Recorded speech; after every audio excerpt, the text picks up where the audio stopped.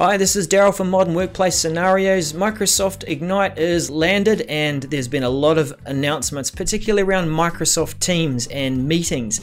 And so I'm going to pick on seven of my top favorite uh, announcements around meetings because we're all attending so many meetings.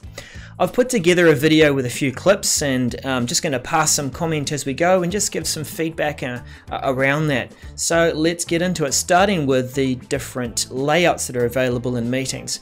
We've got custom layouts, there's also the layout that a presenter might have to be able to see their content and present.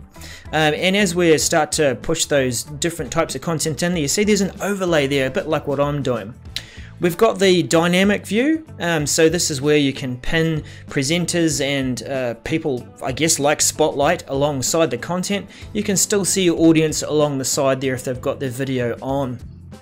And the audience can react to uh, the meeting too, so we see those reactions appearing over their video um, as, as it happens. So nice to see that.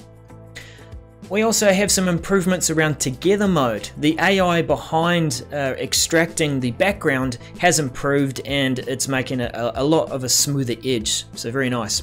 My second pick is breakout rooms. I really believe that breakout rooms are going to help our meetings to drive more engagement in smaller groups. Easy to assign people to these rooms so you can go into that meeting, assign them automatically, and they will get a call that joins them into a second call where that meeting room is.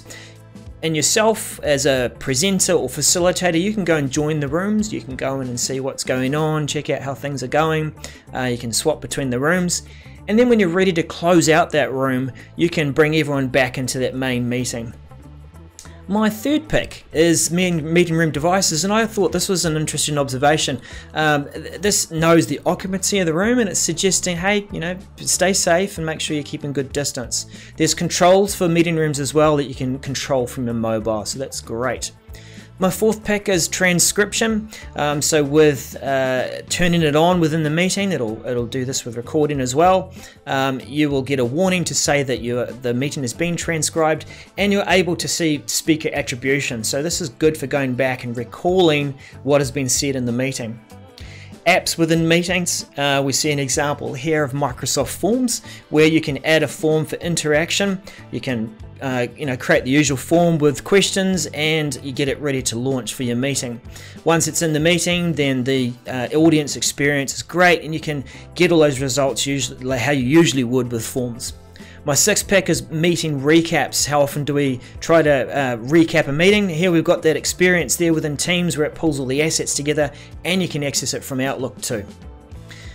Uh, my seventh pick is uh, with organizing events and webinars. And so in this example, uh, we have speakers. You can add speakers into the invite and their bio, so it connects to where those speakers are and gives a bit more information. And you can request more information from people as they're registering for this event, even uh, so much as a question. So you can ask that question and they might uh, answer it in their in their registration. Uh, going a bit further forward, here's what the invite looks like for the attendee, so they can join the event and add that event to their calendar. And then there's even a, a recap too at the end of the event, so similar to a regular meeting, except this one has attendance reports, and you can see um, all sorts of information about how people have attended, even if they've gone and answered that question you asked earlier within the meeting.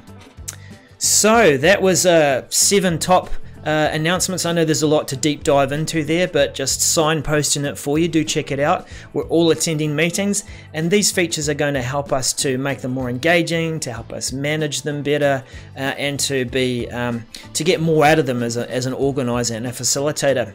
If you're keen to see more uh, content around the modern workplace and modern workplace scenarios, such as meetings and more, then you know where to find me. You know what to do to get more videos. We'll catch you again soon. Bye for now.